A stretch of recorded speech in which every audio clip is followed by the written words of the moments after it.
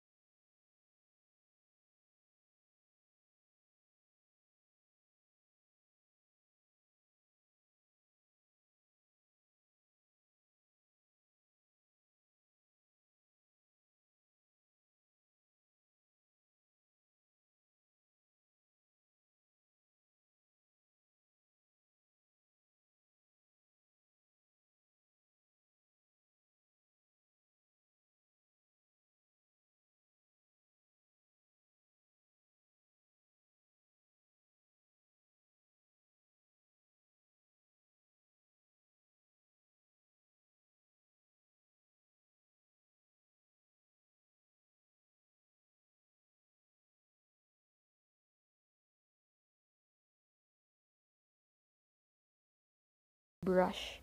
Yan. So, sa brush, maraming options dito sa mga brush. Plain or text